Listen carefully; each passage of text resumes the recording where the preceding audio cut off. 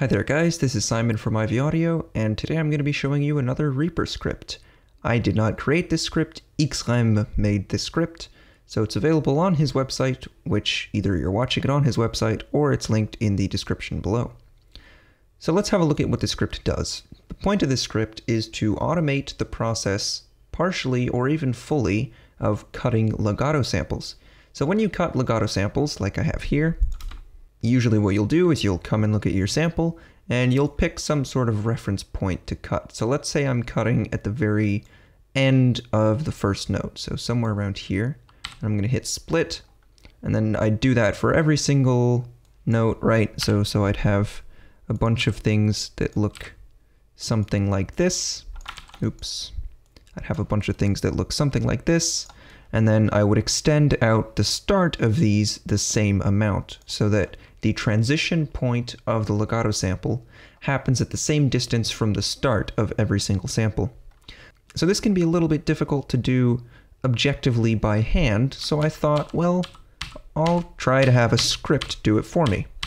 So the way this script works is you export your audio as MIDI, you import the MIDI into Reaper, and then Reaper, or rather X-Raym's Reaper script, will chop up the audio based on the information in the MIDI file.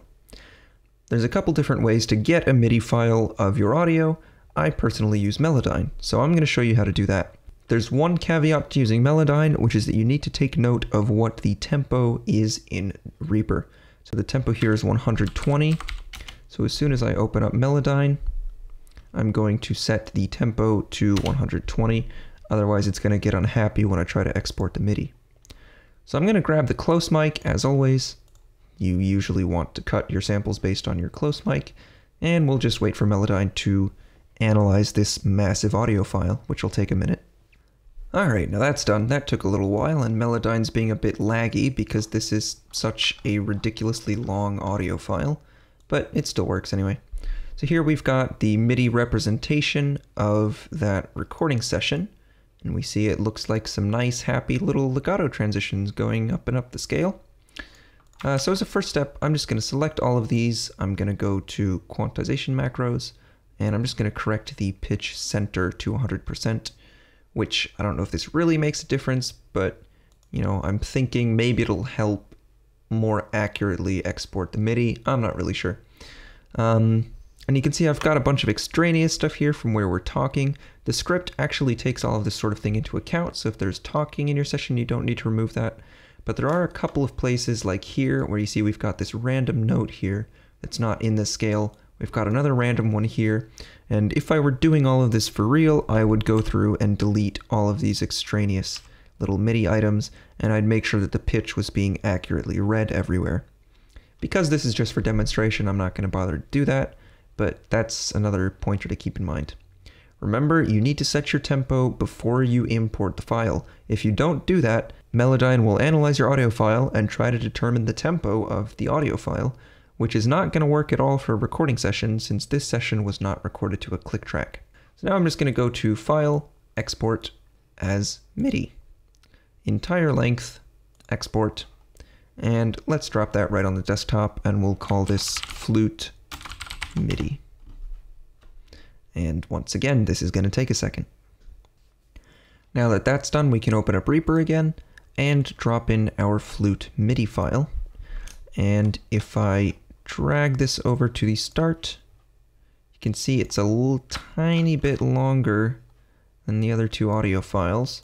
But theoretically, if I did this correctly, and if we trim the start of this a bit and line up the end, theoretically this should line up perfectly with the audio. Let's just trim that a bit since those are the sustains anyway. We don't really care about those. And just line that right up with the end there. And, well, look at that. It seems to have worked pretty well. And again, it doesn't necessarily matter that this be aligned perfectly, you know, whether the MIDI's here or the MIDI's here, doesn't matter altogether that much. What's important is that the timing remains consistent throughout the entire MIDI file. Once you've cut the audio, you can always choose to shift the cut point uh, earlier or later on all the samples and it'll have exactly the same effect. Alright, so we've got a bit of a jump cut here because the first time I ran the script, it crashed because I ran it on far too much audio. So as a side note, you probably want to split up your session into multiple sections before running this script. Let's go ahead and select all our items and just split a couple of little spots here that we'll run the script on. So the way you run this script is you bind it to a key. So in this case, I've got it bound to Control Shift A. I'm now going to multi-select the audio that I want cut. Then I'm going to put my mouse over the MIDI item, and then I'm going to run the script. Here we get some options. We get X offset, Y offset, octave, detection window, and insert markers. So the way this script works is it looks at the MIDI data, and it looks for not overlapping, but it looks for transitions in notes within a certain detection window. So in this case, the detection window is 2 milliseconds. And the offset X and offset Y are how far before and how far after the detected transition the script will cut your audio. The script also inserts MIDI note names for the starting and target notes, and you can shift the octave of those MIDI note names using this octave parameter here. And finally, insert markers will insert a marker at each transition point with the name of that transition point, which is pretty cool as well. So I'll just turn that on so you can see what it looks like. If I hit OK, bam, we get a bunch of editing. So let's have a look at what the script did. So far, it's looking pretty good. Even though my player played notes really close together, like here, it would have been nice if she'd waited a little bit longer before playing the next transition, but as you can see here, we've got, you know, here we've got one that got uh, misidentified. It really should have been cut over here. But the rest of these all look surprisingly good, considering this was done automatically in about half a second.